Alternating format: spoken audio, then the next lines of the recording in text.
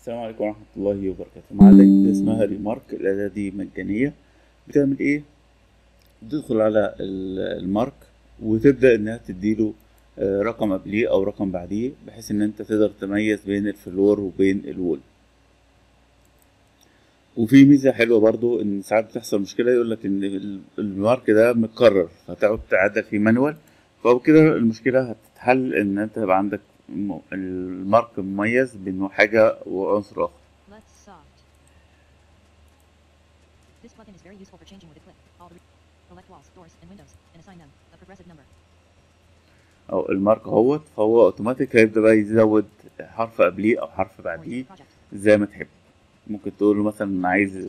ال column يبقى قبليه C ال door يبقى قبليه DR وهكذا